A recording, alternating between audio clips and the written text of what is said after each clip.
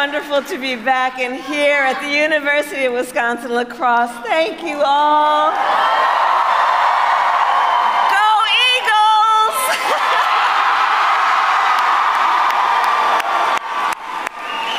oh, it's good to be everyone. And Mark Cuban, thank you for all that you are and being a part of it. Thank you. So, some of you may know when I was five years old, we lived in Wisconsin. My parents taught at the University of Wisconsin in Madison for a time, and every now, every time I come now, when I land, Governor Evers will greet me and he'll say, Welcome home. So it is good to be back in Wisconsin. and this is a, room full of leaders, and I thank you all for taking the time out of your busy lives to be here to have this conversation. I want to thank Mayor Reynolds. Thank you for the warm welcome and all you do. And La Crosse, let's reelect someone who has spent her career fighting for the families of Wisconsin, your Senator Tammy Baldwin.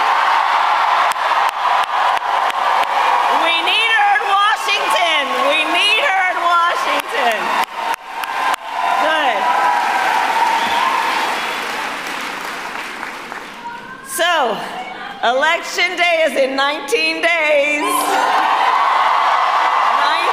days. And, and if anyone, if you all have a chair or a seat, please do seat, sit for anyone who has a chair, okay? so listen, we are nearing the home stretch. And this is going to be a tight race until the very end. And we, we got this.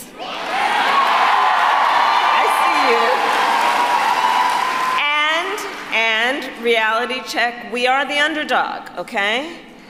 And that's why I'm here with you and you are taking the time to do the hard work that is necessary. It's why I'm campaigning for every vote because I want and intend to be a president for all Americans.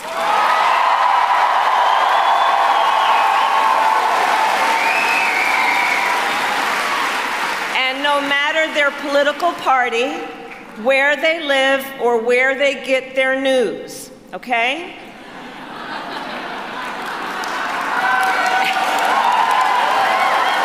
and on that point, last night you may have seen I went on Fox News.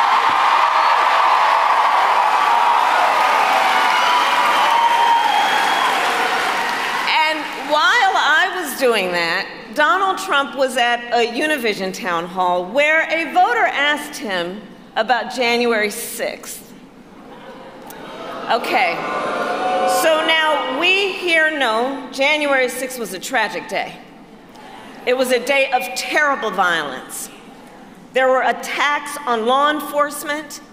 140 law enforcement officers were injured, some were killed. And what? Did Donald Trump say last night about January 6th? He called it a quote, a day of love.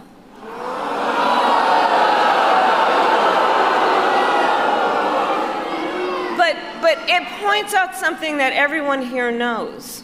The American people are exhausted with his gaslighting. Exhausted with his gaslighting. need to